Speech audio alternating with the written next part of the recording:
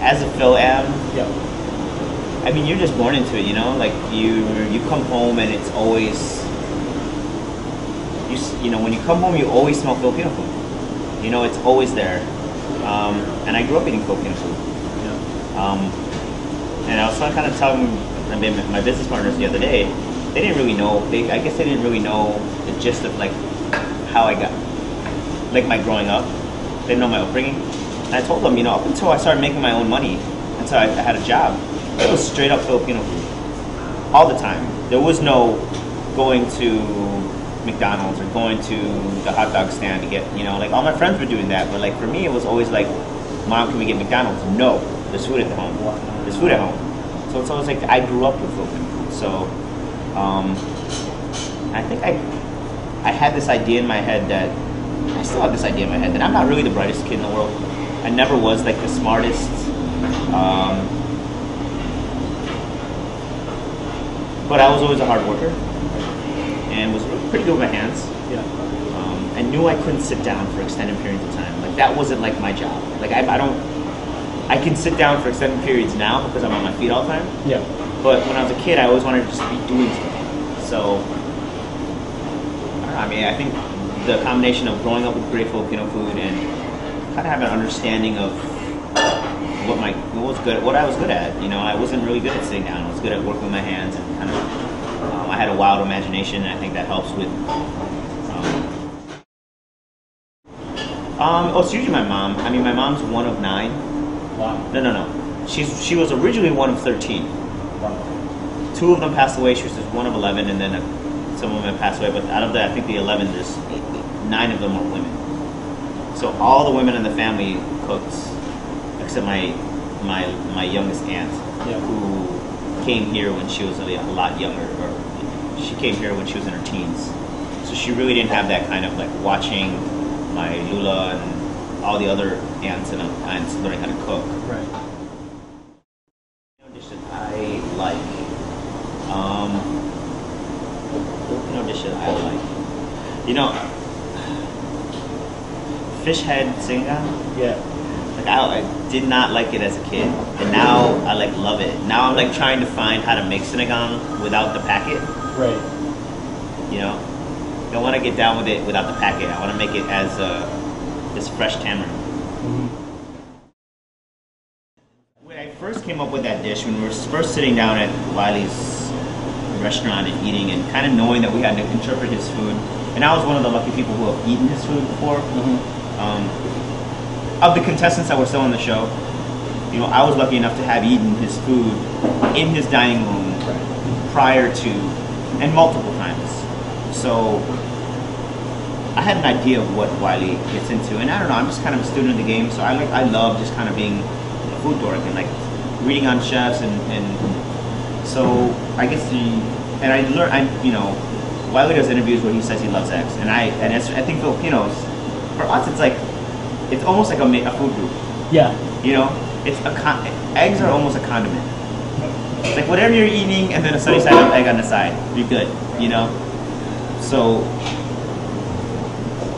when I was sitting there having dinner, I was thinking about doing this this pho dish, a version of you know of Vietnamese beef noodle soup, and kind of making a soup dumpling with this beef. And I had never done it before. Um, and I was like, you know, do I take this risk and do this for him, or do I do, or do I take another risk, a more uh, another risk, and do something that I know that Wylie loves, and take a take a risk on doing something that he loves. Right. And I can do it, you know, either do this pho dish I've never executed before, but have an idea how to do it, or do an egg dish that I've really never executed before, but I have an idea how to do it also. And you're kind of, it's also kind of compounding the, the pressure, the added pressure of that was also Wylie loves eggs. Right. So if you don't do an egg right, he's gonna slam you for it. It was it, it was a hard one. I mean, that it's a hard. It was a tough evolution of just sitting there and looking at yourself and watching yourself And I mean, I think one of the best things that being on one of these reality TV shows can do is you get you get a you get to see yourself how other people perceive you. You know, we're not. Uh, you know, we walk in our own shoes every day. And it's like you don't know how someone sees you.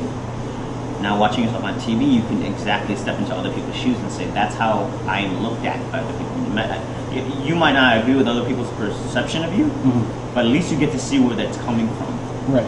And I don't know. I looked at it and I said, "You know what? That's it sucks."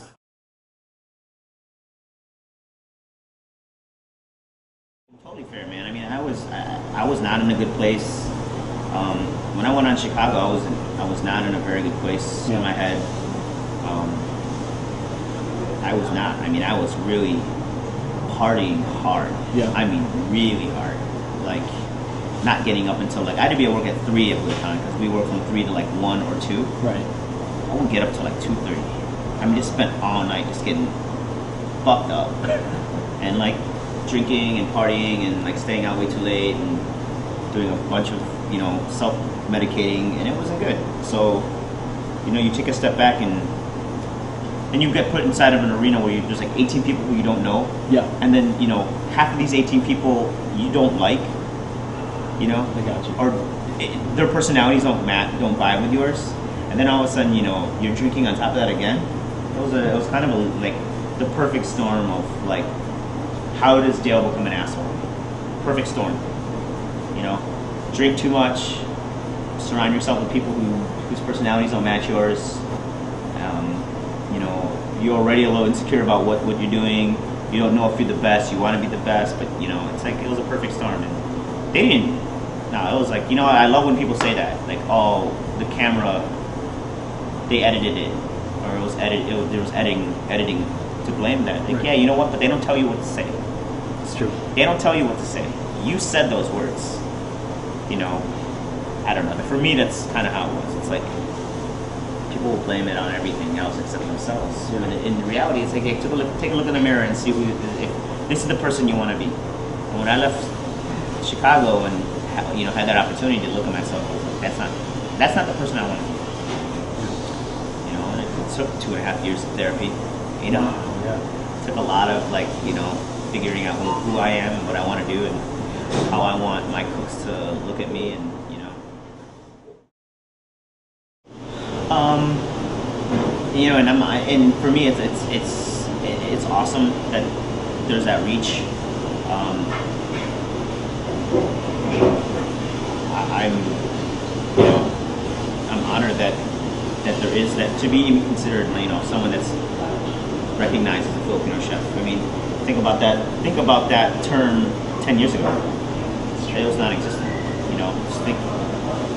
Think about any. Think about just the Filipino culture as a whole. Even 10, 15 years ago.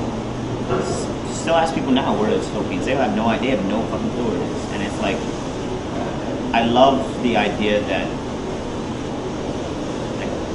that whole Charles Barkley. Well, I mean, I guess what I'm saying is like, you know how Charles Barkley said, "I'm not a role model and shit." Yeah.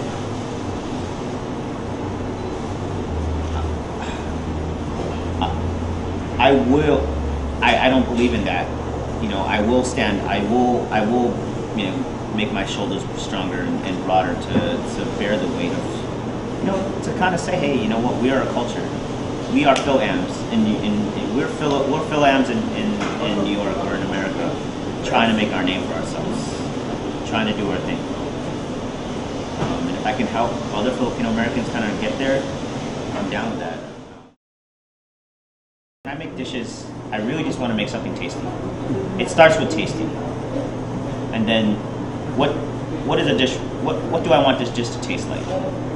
Um, whether it's Filipino, Korean, Japanese, Thai, Vietnamese, whatever. Um, I don't know. I think the inspiration happens. I don't know. I mean, it's, it's hard to explain how that inspiration happens, but it just happens. Um, what I do know is that like I draw from you know when when you have the vinegar, the chili, the little bit you know the vin- the um, the vinegar chili, garlic, the garlic vinegar chili. Right. Kind of we're dipping. Yeah, our dipping sauce. Like when that, when I'm making a dish, I know that I want that brightness. Mm. You know what I mean? That has always stayed with me. That kind of like that brightness in, that, that that does for dishes. That always stays with me when I make anything. So I want an acid component on it, and I mean it's definitely formed my palate, but I, I wouldn't necessarily say that like I directly draw from Filipino food. Right. You know, there's certain dishes that yes, like our green mango salad. Like when I was in Malaysia two summers ago, uh, had a green mango salad out there, and it reminded me of my grandmother, like you know, making bagoong and then having raw green mango and just dipping it into there or a little vinegar in it, and like it reminded me of that, you know.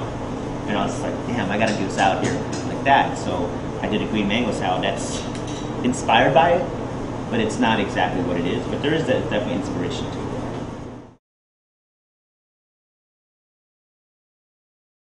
drew me to New York is unemployment. I was unemployed, dude, in Chicago and broke, and like looked at looked at kind of it as a sign from God to say, if you love New York and you've been there a couple times and you you want to eat, uh, you want to work there and kind of be. I mean, there's no other place in the world. This is it. If you're cooking, there are other places, but like this is it. I mean, this is like you have New York experience. You know what the hustle is. You know, like there is no slow period in New York City. Sorry, it doesn't exist. People eat people eat out every day of the week here, so there is no like, oh no, it's slow. So I, I mean, that brought me to New York, and then what brought me to Brooklyn was kind of what you're just saying is that I love Chicago. Like, and it, when I came out to Brooklyn, like, it really reminded me of, you know, where I lived in Chicago, like the North Side. Oh, this is like a neighborhood. You know, it's a true neighborhood. Right. It's a true neighborhood. You know, this is Park Slope, where you know the guys across the street. You know the, you know, you know the bodega owner's name. You know the, you know, the guy in Russo's where I get my Italian sandwiches. I walk into the joint. He says, "You want an Italian?" Yes. No mozz, you know, no provolone mozzarella? Yes. Cherry peppers instead of hot peppers? Yes. I don't have to say anything. The guy just starts doing it. So it's like, cool, man. Like it's a neighborhood where you don't find that as much in New York City. I played PBA, and I played PBA in uh, I played PBA in Chicago. I mean, you know, it's funny when you tell somebody that. Like, yeah, I played it in kind of an intramural public league. It was called PBA. It was Filipino, and they're like, wow, I'll fight. But like, yeah, I mean, you know, you know, sleep on it. Yeah. Sleep on us until that dude, you know, until that dude blows by you. You know, until you get these Filipino kids, like that are just super ill at basketball. You know, like I don't know. It's always been my thing. Um, I played ball. I like literally two weeks ago. I, I went to the Y for the first time, and uh, that's by my house in Atlantic. And they're like, hey, you wanna you wanna try out? You wanna try the gym? I'm like, yeah, I'd like to see the basketball gym. And they had an open court. And I walked in, and they're playing full court games. I'm like, I'm in no physical condition to be doing this. and they're like, hey, you wanna run full court? I'm like, fuck it, man, let's do it. So I, you know, laced up the shoes instead of just shooting around. I ran playing full court and. After the first game, I was like, "Oh my god, I hope we lose." I was like, "I hope we lose, so I can just step off this court and take a breather." And we end up running off, like riling off three straight games. And I was like, at the end of it, like they're like, I'm like, "Hey, you want to run again?" I just looked at everybody, and people started filing out. I'm like, "Well, if you absolutely need me," they're like, "Ah, looks like this last game." I'm like, "Sweet." now, when I play ball as much as I can, I mean, it's not often anymore, but when I can, I love to play. It's like it's it's my number one sport, like to watch and you know like. Um, we have tickets in the Nets. We have season tickets in the Nets. Um, so, you know, all my business partners are like, "Yo, you're gonna stand behind the uh, stand behind Brooklyn, stand behind Brooklyn." I'm like, yeah, you know, I can stand behind Brooklyn until the Bulls show up. And then everybody else, everybody else, you know, and they're like, "Oh, why don't you know?" They played Brooklyn and New York last night. They're like, you know, you can't wear a, a Brooklyn Nets a Brooklyn um, hat. I'm like, this is the thing, dude. It's really as much as I'm down for Brooklyn and I am and I'm down to ride with them. I die with, with the Bulls. I am all about the and my my home team. And you can never pull that away from me. So they're always giving me they're always giving me some stuff about it. But I'm like, listen, dude. Like I grew up Jordan. I grew up with Jordan. So it's like relax. You guys don't have that. Yeah. You know, they never have. They never will. And everybody's playing catch up. work someplace that you would look at and be like, I would never work there. Work there for one day. Or ask if you could train there for one day. See how bad it could really get. Because when you own your own restaurant, when you first open and garbage needs to get thrown away, who else is gonna do it? You know, when we opened Pork Slope and you know, we had way too much fun. Like the first weekend, and every you know it was awesome. Everyone was getting, everyone's partying really hard and getting really drunk and having great you know tons of food, and it was awesome. But then someone throws up in the bathroom. Oh.